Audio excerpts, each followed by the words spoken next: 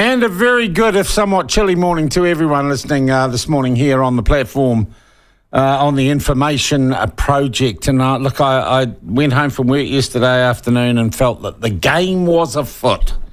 That we are certainly, uh, certainly in um, ele- the time of the election. And I looked on my social media, and boy, all the. Oh, it is just hilarious watching, isn't it? People who are clearly deeply, deeply party, party political and partisan, pretending they're not, and making all these absolutely idiotic pronouncements about what this means or what that means or what the Nats are doing or what Labor are doing or the truth about this. And you just cannot believe that these political trolls on social media actually take themselves seriously. There's one guy in particular called Clint Smith who is literally paid by the Labor Party to spin for them. And he comes up with the most egregious, outrageous, rubbish cold takes. But there are a lot of people, a lot of people at it. And of course, yesterday and last night on the news, you weren't going to get a lot on the latest political poll um, because all the major news organisations pay, uh, I think it's about five grand a pop, for their own political polls, and they don't, they all say basically the same thing. Um, and they don't want to cover other people's polls. So the Roy Morgan political poll, which is a little different, was out yesterday. And as we reported yesterday morning and brought you that news, it showed uh, a pretty big swing um, and, and, let's just in broad terms say Labor down four, National up four. Um, and really, the shape of the election starting to look like a change of government from a centre left government to a centre right government. But also, very, very interesting in the Roy Morgan poll yesterday, I thought, was that New Zealand First, a long time political party with what, a 25 year history in New Zealand politics, but not currently in Parliament was rating at 5%, which, of course, under our system of MMP is the threshold, the party vote threshold you need to qualify for seats in Parliament. Um, I texted Winston Peters yesterday in a familial, friendly way to say, good result. And I got this text back and it said, oh, that's if you trust the Roy Morgan poll, and I don't. Grumpy response. I thought someone was out of the wrong side of the bed or not out of bed at all. But he joins us on video link now to discuss what is now a moving political landscape. Uh, Mr. Peters, welcome to the platform. I hope you're in a better mood this morning. Um, good morning. Uh, good morning. I was up since four o'clock yesterday morning, as I often are these days. All right. The second thing is, Roy Morgan uh, has never made it New Zealand first. And the third thing is, we've been around for 30 years. Oh, 30 years it is. yeah. And as I said last Sunday in a huge meeting in Whangarei. Yeah. We're going to rise. And the first thing to happen is what's the dirt that's going to come our way? And that's exactly what we're talking about this morning. Yeah.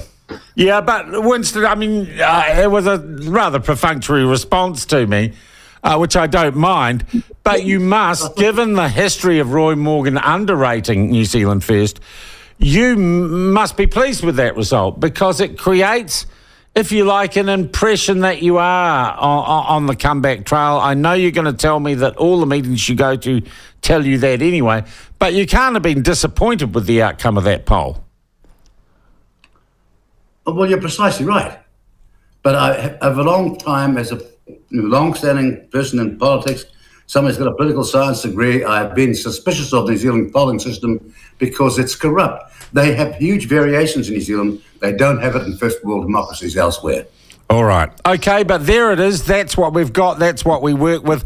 I'm presuming a Reid research is out in the next few days from what we've been, uh, people have been polled uh, with that. A- and most of our polls, accurate or not, do seem, seem to follow the same trends.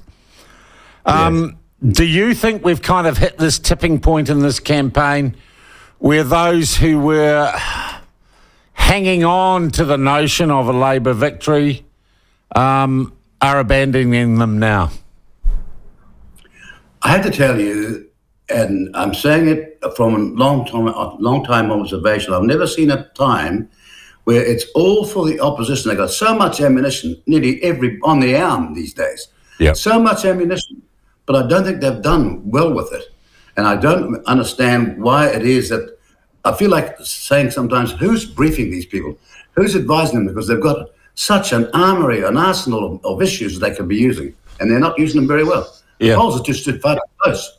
Yeah. Well, Luxon seems to be taking the Napoleonic approach, and that is don't interrupt your opponent while he's making a mistake. Uh, well, look, with respect, the announcement the other day on transport was actually, I, I looked at it and thought, how on earth could this happen? Because on the timetable of Puhoi to Warkworth, the policy they laid out to get to Whangarei would take 89 years. More, 89 more years. You see what's going wrong here? And I think people are going to start asking good questions because that's what politics and that's what good journalism's about. Mm.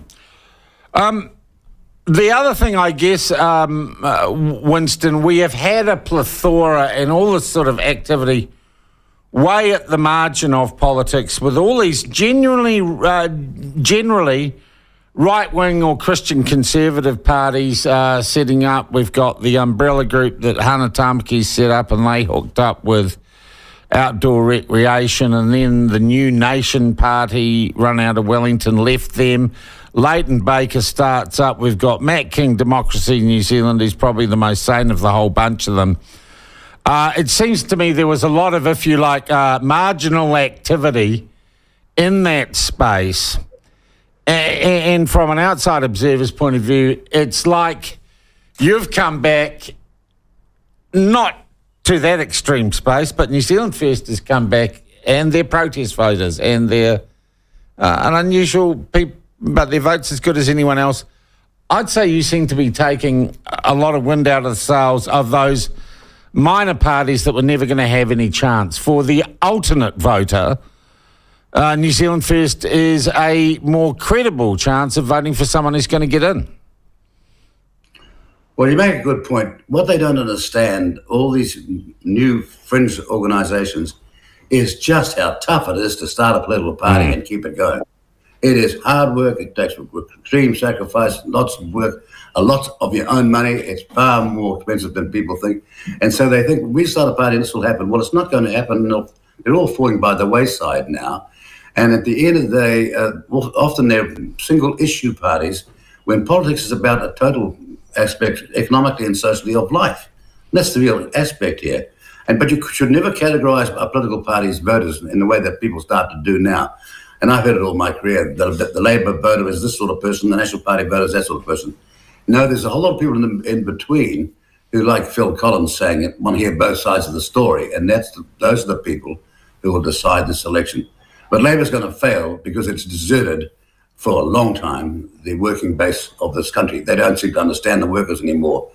They've got this sort of inside the beltway university student politics about them, and a lot of workers had a guts full of them. That's a fact. Mm. That's what they tell me. That's why in the countryside we're packing the halls. Yeah.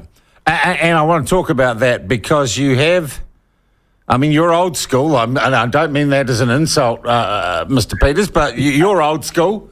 Um, and your way of politicking is you go out and you meet people in person.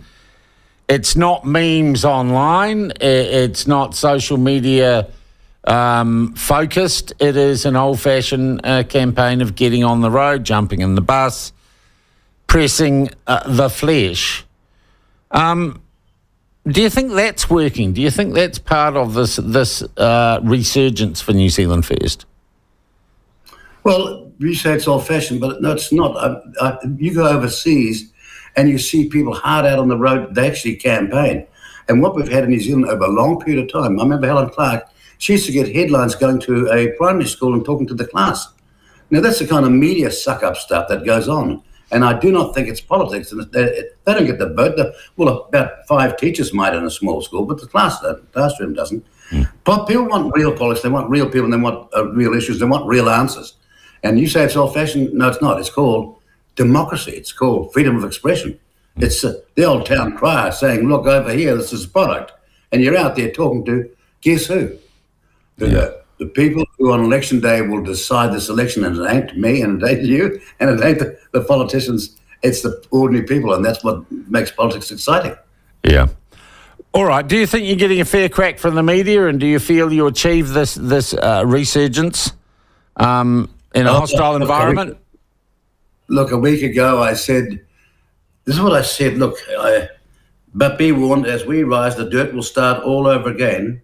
Mm. In fact, as you know, it's already started, but that's a barometer of how well we're doing. But I was astonished to see, when you say getting a fair go for the media, I saw that article by Graham Adams. Now, I know the platform had him on, right? Yeah. You know what? You know what I thought was stunning? What? Here was this article where, for example, he was saying about He Puapua that I knew, and all he was exposing as experienced, experienced journalist is his ignorance on the way its parliament is run and cabinet is run. And Brooke Van Velden and um, uh, the, the, woman Wade from TV3, Amelia, Amelia Wade, Wade yeah, yep. Amelia Wade were involved in a little conspiracy because they went to a meeting and they tried to stitch me up because they said, "But Mr. Peters, you were at the cabinet meeting." Yes, I was at the cabinet meeting when the committee discussed this matter that came from the UN because of John Key signing up and uh, something that yeah. I would not sign in 2007. But when the report was commissioned, it never came back to me. And I was the I was the foreign minister in charge of the United Nations material, and it never came back to me at all. That's the truth. And then I had this kind of stuff. You were talking a little while ago about these people spinning for another party. In this case, a guy doing it for the Labour Party. This is what they're saying. They're saying Winston Peters' godfather co-authored it. One of his whānau co-authored it, according to a guy called Trevor Hughes, who was tweeting on the other day. And I thought, you muckraking twits, I'm going to get away with this. And I'm saying to Mr. Graham Adams, next time phone me and I'll explain to you and Brooke Van Velden, who because of her novel, his newness and inexperience doesn't understand the system, that's how it works. You commission work, but you don't approve it, and it never came back to me. And Willie Jackson conform, confirmed that in the New Zealand Herald. Okay, well, as you know, it's politics. People are entitled to their opinions, and uh, not, not by not by way of a threat, and, and in the kindest way, sue us. Um, that's what I say. but at least well, we've given, and does win. okay, at least we've given you the chance uh, to to have your say. Look, the other thing I would say about your campaign, you have tapped into what I know is a active vein of discontent in New Zealand around issues involving culture and issues involving sex education. I saw a release or a social media post from you yesterday about this book, Welcome to Sex. Uh, Michael Laws did an interview with Bob McCoskrie from Family First yesterday, an excellent interview which I recommend people listen to. Uh, this book isn't in schools yet. It has caused controversy in Australia and it is available online in this country. We have also had Chris Luxon come out in the last five or six days saying he believes like gender identity should be taught to parents in schools and schools should stay out of all this rainbow stuff. There's a general acceptance that rainbow activists have infiltrated our schools counselling environment and community and are advocating and pushing homosexuality and transgenderism. Um, we've tried to get Luxon and uh, Erica Stanford on and Nicola Willis on to talk about this issue and they won't come on, which suggests to me that Luxon or National are talking the talk on these issues but not walking uh, the talk. Um, how important to you are these issues around, if you like, and it's difficult to find the right word, morality, or our, our norms in terms of morality and things like sex and gender education and what our kids are exposed to? Is it just a little uh, minority interest thing, or do you think there is a wider concern in New Zealand? Look, you put your finger on it when you talk about other political parties because I've seen their lack of action on this, and I'm actually shocked as a well as a former primary school and secondary school teacher before I went into law. We used to know back then that the education was about education, not indoctrination. Now, the second thing is we've always believed that the government has no business in the nation's bedrooms. But that said, this is active social engineering and teaching in the primary schools and else in the secondary schools without any knowledge and consent of the parents, who after all are the master in this matter, who've got fundamental rights in this matter, who've got obligations to young people in this matter, and they're just being sidelined in a most uh, callous, arrogant way by these social engineers. And I've made it very clear that uh, if we have any say about it, and we will, we're going to stop them in their tracks because they don't have any authority, any license, any mandate to be doing what they're doing. And some of the stuff is dangerous and it's outrageous that they were teaching it to children. and bending people's young people's minds before they're mature enough to make their own decisions.